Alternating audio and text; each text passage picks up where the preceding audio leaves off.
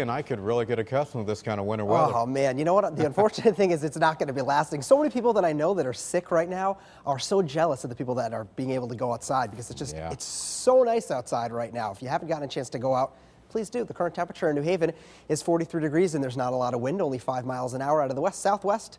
Kind of a warmer wind direction, which makes a wind chill value of 40 degrees. And around the state temperature wise, great. Almost mild, in fact. Stamford 42, Westport, the current temp is 42 degrees.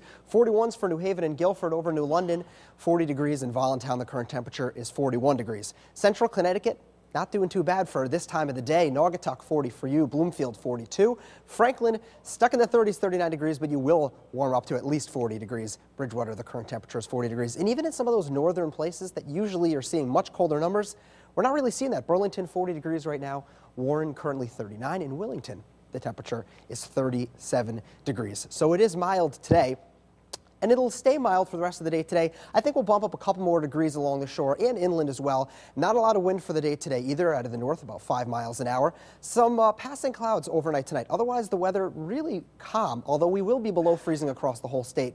Lows expected to be in the 20s. Then things change. We start off the day tomorrow with a little bit of sunshine, but we're not going to be finishing with sunshine at all.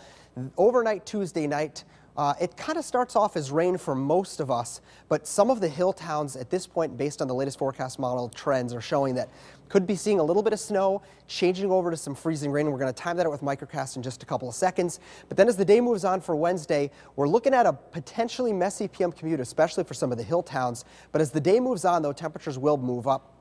43 degrees is the expected high temp around the state, but very gusty. Winds potentially gusting up to 60 miles an hour during the day on Wednesday. Some localized flooding and poor drainage flooding possible as well. So this is Microcast. We're starting it tomorrow at 9 o'clock at night. Note the blue and the pink at midnight. Some snow falling, especially for some of those higher elevations, but the shoreline is just seeing rain.